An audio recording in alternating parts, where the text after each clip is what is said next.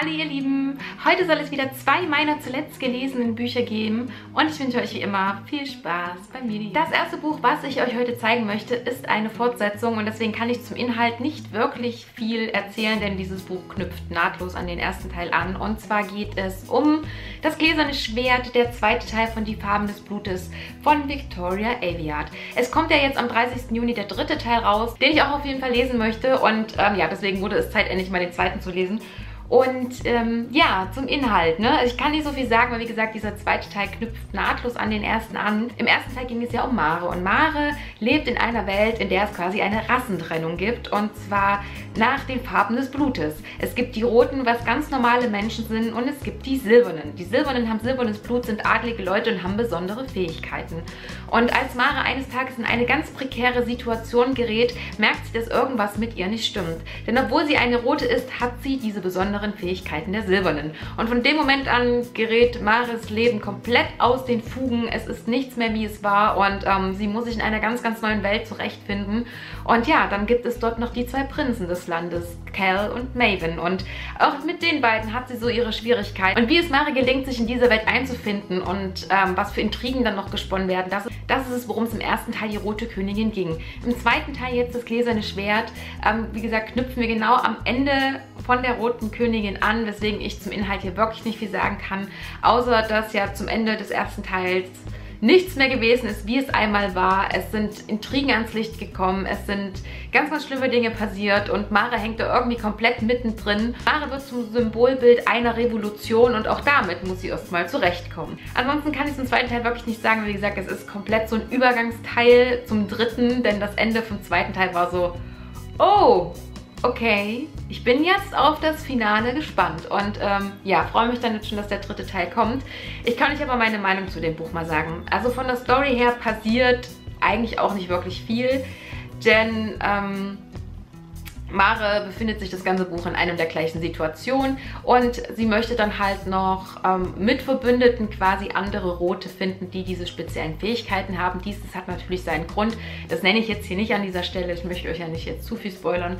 Und äh, ja, ob das Mare gelingt oder nicht, das ist halt auch noch so ein Aspekt, worum es im zweiten Teil geht. Von der Handlung her fand ich es eigentlich im Großen und Ganzen vollkommen okay. Wie gesagt, es war jetzt nichts herausragendes, überragendes. Es war eine nette Geschichte. Ähm, es hat sich streckenweise sehr gezogen. Also dieses Buch ist auch knappe 600 Seiten dick und dafür, dass und dafür, was alles in diesem Buch passiert, hätte man locker 100, 150 Seiten weglassen können, meiner Meinung nach. Aber naja, mein Gott. Ja, also dadurch hat es sich für mich streckenweise echt gezogen.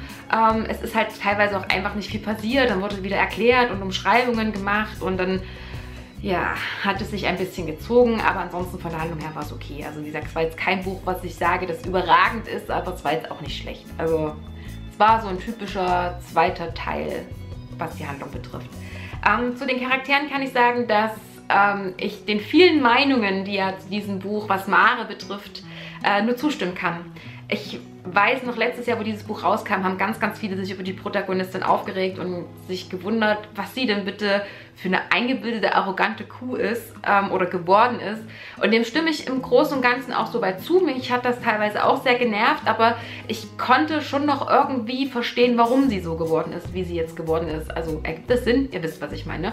Also ich, ich konnte es nachvollziehen, aber trotzdem war es sehr übertrieben in diesem Buch und ähm, es war einfach wirklich sehr, sehr viel. Also es war wirklich teilweise, dass sie echt sich hingestellt hat und gesagt hat, ja, ich bin hier die wichtigste Person auf der ganzen Welt, nicht du. Ihr alle anderen seid egal, ich bin die wichtigste Person und deswegen das und das. Und das war wirklich so ein Punkt, wo ich gedacht habe, so, hier, Mädchen, du hast sie doch nicht mehr alle. Also, ja, aber auch die ganzen anderen Nebencharaktere, die dem Ganzen auch noch so zugespielt haben, habe ich nicht verstanden. Also es haben sich schon Leute drüber aufgeregt in diesem Buch, wie sie sich verhält haben aber auch nichts wirklich dagegen dann unternommen, wo es dann im Endeffekt drauf ankam. Also ja, habe ich auch nicht so ganz verstehen können, aber naja gut, so ist das halt. Also wie gesagt, von den Charakteren, was Mare betrifft, reden wir nicht weiter drüber. Ansonsten haben die Nebencharaktere meiner Meinung nach Mara einfach zu viel durchgehen lassen. Die hätten da echt mal härter durchgreifen müssen.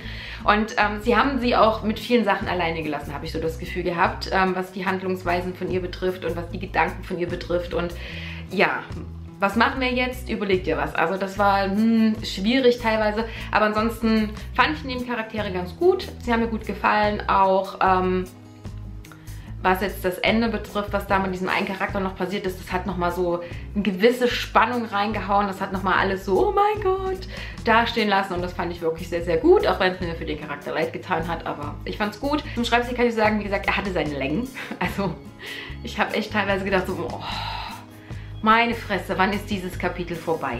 Also es, es, war wirklich sehr, sehr schwierig für mich, dieses Buch teilweise zu lesen. Es gab Strecken, da bin ich sehr, sehr gut durchgekommen und es gab auch Strecken, die haben sich gezogen wie Kaugummi und ich hätte am liebsten so, ich leg's weg, ich habe keinen Bock mehr. Aber ich habe es durchgezogen, ich weiß, was passiert ist und ich freue mich jetzt auf den dritten Teil und ich hoffe, dass der wieder ein bisschen spannender wird. Ansonsten kann ich sagen, dass Victoria einen ganz einfachen, schlichten Jugendbuchschreibstil hat. Es ist nichts Kompliziertes in diesem Buch, es sind keine Schachtelsätze oder irgendwas was da jetzt noch irgendwie beim Lesen wo man beim Lesen irgendwie drüber stolpern könnte. Und ähm, ja, ansonsten vom Schreibstil her hat er mir schon gut gefallen. Wie gesagt, es hatte seine Längen. Es war sehr viel Kaugummi in diesem Buch. Mein Fazit zu Das gläserne Schwert ist, es ist ein typischer zweiter Teil leider. Also es ist ein Übergangsteil mit seinen Längen und auch von der Story her hält er jetzt nicht allzu viel bereit. Und ja, ich hoffe, dass der dritte Teil jetzt wieder besser wird und ähm, bin mal gespannt. Ähm, mir hat eine Abonnentin letztens gesagt, dass das keine Trilogie ist, sondern dass noch ein vierter Teil auf jeden Fall kommen soll. Also ob das jetzt eine Tetralogie dann wird, weiß ich nicht. Ob das vielleicht ein Spin-off wird, weiß ich auch nicht. Weiß das einer von euch? Wenn ihr es wisst, dann schreibt es mir gerne unten in die Kommentare. Da gibt es zu diesem Buch auch nichts zu sagen. Kommen wir zum zweiten Buch für dieses Video und ähm, dieses Buch hat mir sehr, sehr viel Freude bereitet beim Lesen und zwar war das dieses Buch hier, Stormheart, die Rebellin von Cora Kamek.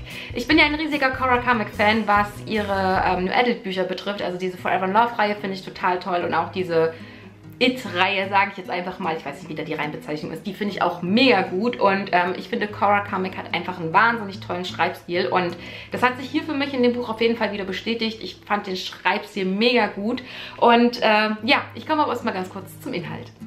In diesem Buch geht es um Aurora und Aurora lebt in einer ganz speziellen Welt.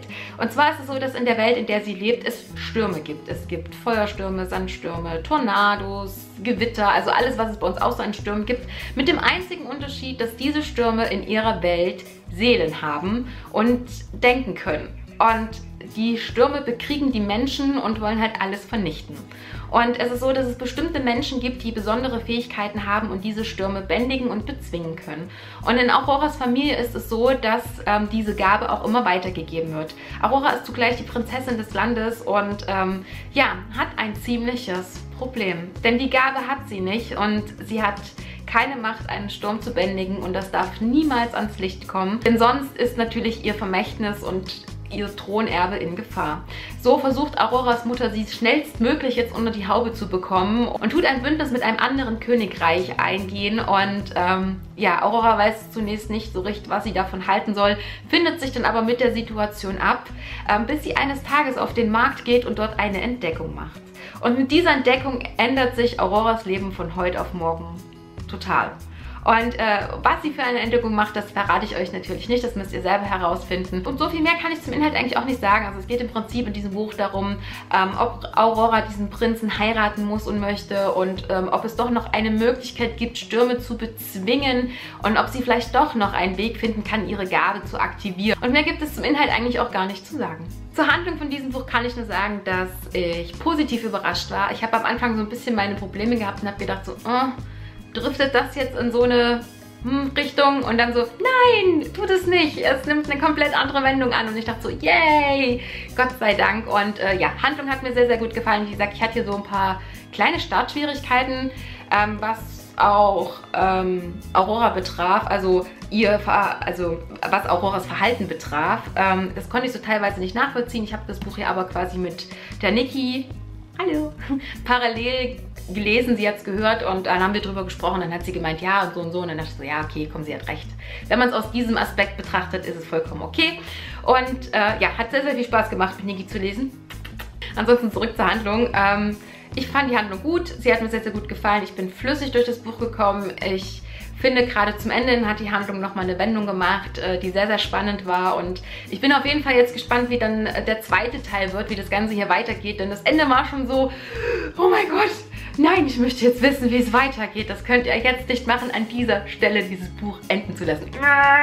Ich habe nur gedacht so, nein.